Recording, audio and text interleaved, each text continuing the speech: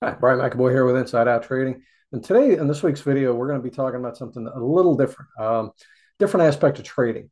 And really, this is uh, more on the personal side of it. But one lesson I learned a long time ago when I was when I was first trading, and especially uh, when I started to hit the rough spell that eventually was my my downfall in my first year when I wound up blowing up my account. There's one thing that I've, I've learned over the years. Um, it just, I mean, going way back to probably my, you know, teen uh, you know years when I was still back you know back in school before I graduated high school and everything. I'd learned I'd heard of the notion you know to trust your gut instinct you know listen to your to your gut.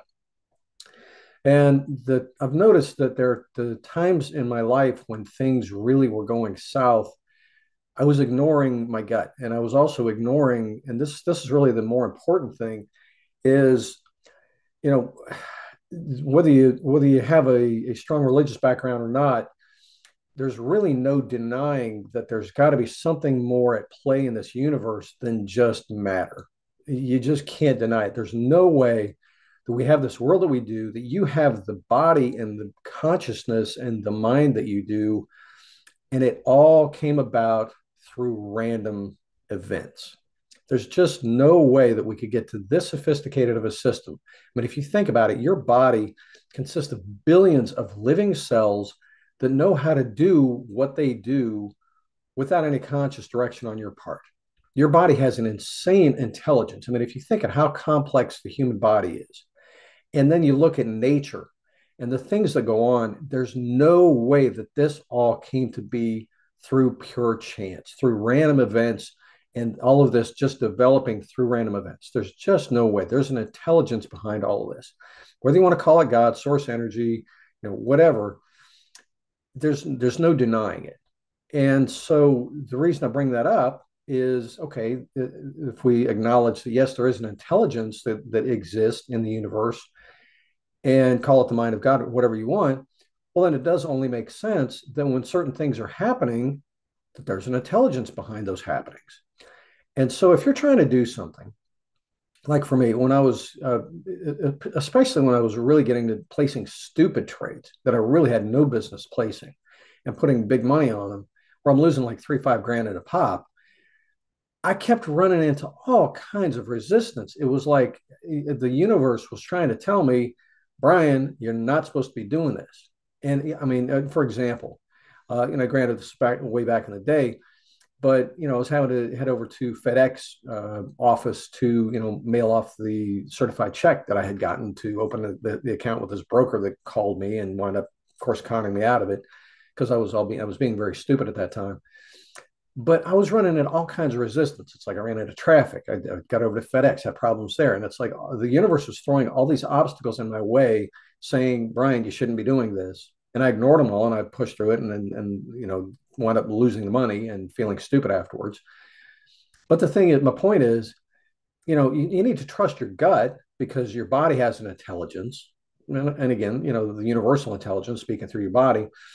But the universe will throw signs your way uh, from outside of you, circumstantial evidence, nudges, uh, you know, pushes, whatever you want to call it, or obstacles. And so it's really important that you pay attention. Uh, one thing that I really liked uh, when I read Neil, uh, Neale Donald Walsch's book. Um, he's the guy that uh, wrote uh, Conversations with God, a series of books. Great, uh, very, very excellent series of books. But when I read his this one, I believe it was Messages from God, um, was a, the summary book that he wrote, where he summarized all the like the, the top 25 messages from his other books. And it was really cool because at the very beginning of it, he's talking about how um, he was on this talk show, and the, this guy, um, the the host of the talk show, you know, of course he he he wanted to. he said, you know, we've only got thirty seconds here, so you know, um, you know, can you sum up your books in thirty seconds? And he said, so I'm sitting there thinking to myself, how in the heck am I going to sign up, you know, sum up nine thousand pages worth of books in thirty seconds? And he said, and of course, the answer came to me. He said, I can I can sum it up in five words. What what God's main message was. And the guy's like, wow, really? He says, okay, so what are these magic five words? He says, you've got me all wrong. And it was really cool because, you know, you, you could tell, yeah, most people, their concept of God, they are, they, you know, they do have some serious misconceptions about it. And the other thing that, that Neale Donald Walsch said that, that really hit home with me. And again, it, this ties it back to what, what I was just talking about. He said, you know, there, there's some people he's you know he's been asked over the years you know why is it that it seems only some people are you know have the gift of being able to talk to god or have god talk to them? And he said god's talking to everybody all the time. So it's not really you know you know who's who's special you know to to you know for god to talk to you. It's who's listening who's paying attention. And he said because god's talking to you all the time through you know events and you know people that you encounter and things that happen in your day information that comes your way, opportunities that come your way, obstacles that come your way. So you're being guided all the time if you'll just pay attention.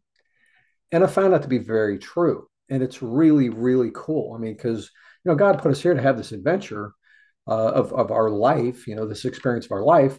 And so, yeah, it's going to have some challenges. That's for our growth and just to make it more of an interesting adventure while we're here. And sometimes things go smoothly and they're like super easy, and you get nudges in a certain direction, and and you know, uh, yeah, things just flow. So you know, it's under it's important to understand. Yeah, you know, this is a ride that we're here on, and it's like a, you know a big amusement park, and so we get to have all these adventures as we go through our life. But we're not alone. Um, you know, God is here with us. And so we just need to pay attention when he's talking to us, whether it's that quiet voice inside uh, or, you know, an, an, odd happening. You know, we, you go to pick up the phone to call somebody you haven't talked to in two years and, you know, they're texting you at the same time, stuff like that. The, the weird coincidences that happen. It, you know, pay attention to them because they're not always random. Matter of fact, I've come to learn that there are very few random things. The, you know, the saying everything happens for a purpose found that's there's a lot of merit to that thought.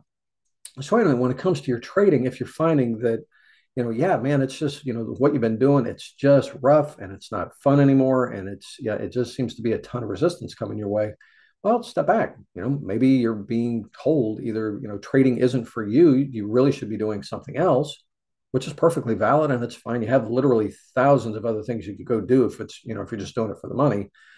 Or if you do truly enjoy it, but you're struggling, it's like, okay, well, maybe God's telling me I just need to take a different approach to it. Maybe the way I've been looking at it isn't the right way for me to go about it. So I need to just step back and say, well, you know, yeah, how have I been going about it? Am I trying to do everything on my own? Am I learning from, you know, crazy YouTube videos with you know, the, the, the you know, 16 year old kid who just made a million dollars today and he's sitting on you know, the hood of his Lambo in front of the estate that he doesn't own either. You know, that kind of stuff. So, you know, just like I said, pay attention to the signs. If you're hitting a lot of resistance, step back and say, you know, is God challenging me saying I need to push through? Or is he saying, you're, you're, you shouldn't be going this direction, pick a different direction. So um, anyway, I just wanted to share that with you. It, I, I, find it interesting. I get reminded on a regular basis to pay attention to this myself, and I thought I'd share it with you.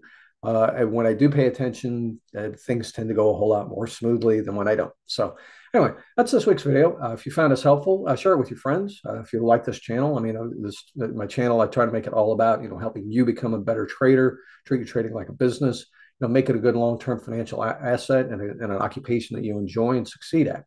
Uh, so if you enjoy the channel, uh, you know, go and subscribe, give me a like down below. And uh, again, I hope this has been helpful. We'll talk to you soon. Cheers.